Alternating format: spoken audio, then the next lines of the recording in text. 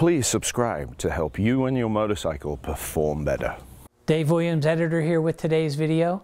Recently, you saw Dave rank the Japanese liter bikes and the European liter bikes.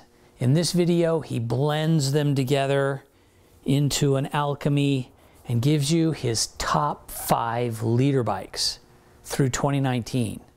Here's a preview.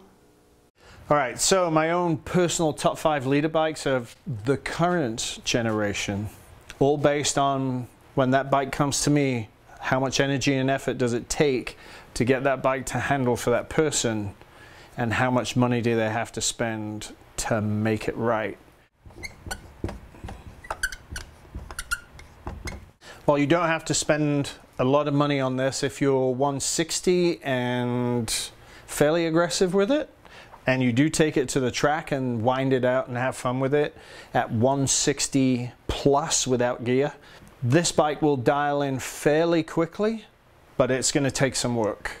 It's also going to take some work because as you discover the electronics and understand what's available in that package, at that point, then the settings are going to change dramatically.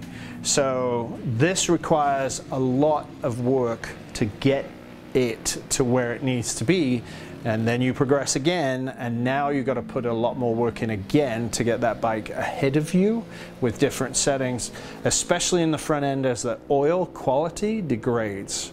The shock's fairly consistent but the front end degrades a lot. So it requires a lot of time and attention so that's why the V4 base is down here. Just so much work. Next Catch the full video at davemosstuning.com. Dave Moss can tune your suspension no matter where you are on the planet via his remote tuning service. Contact Dave on Facebook or by email dave at davemosstuning.com.